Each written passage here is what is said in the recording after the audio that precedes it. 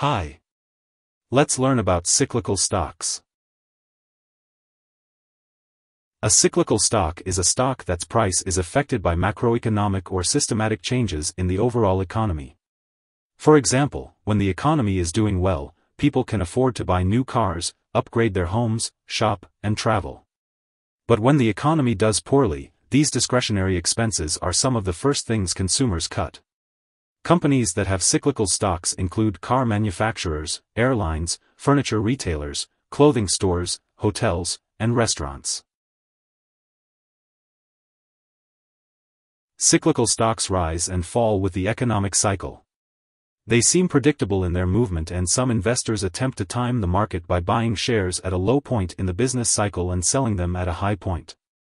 However, investors should use caution about the weight of cyclical stocks in their portfolios at any given point in time. It doesn't mean investors should steer clear of these stocks completely.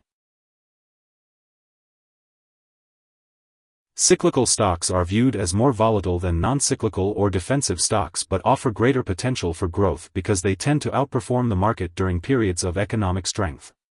Investors frequently choose to use exchange-traded funds to gain exposure to cyclical stocks while expanding economic cycles.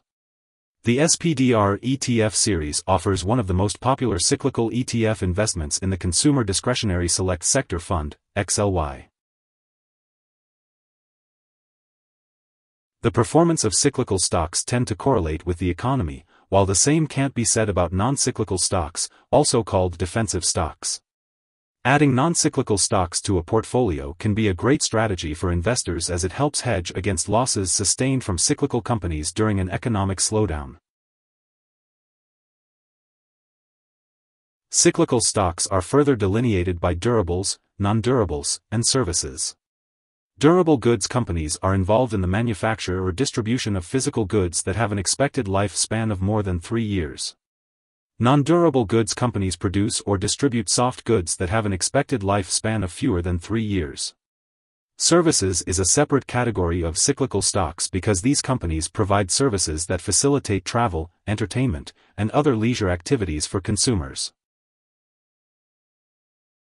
Here are three key takeaways. 1. Cyclical stocks are affected by macroeconomic changes, where its returns follow the cycles of an economy.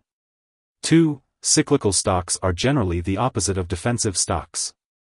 Cyclical stocks include discretionary companies, such as Starbucks or Nike, while defensive stocks are staples, such as Campbell Soup.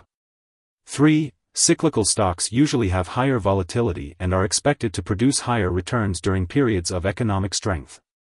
Hope this would help, thanks for watching.